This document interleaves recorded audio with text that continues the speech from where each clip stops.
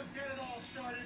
Let's bring in the CEO of Macy's, Jeff Gennette. Jeff, happy Thanksgiving. Happy Thanksgiving, Al.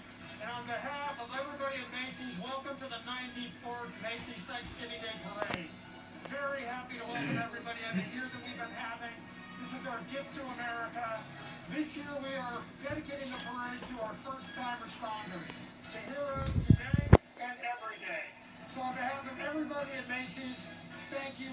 Al, let's get the parade started. All right, here we go. So, ready? Ready? Five, Five,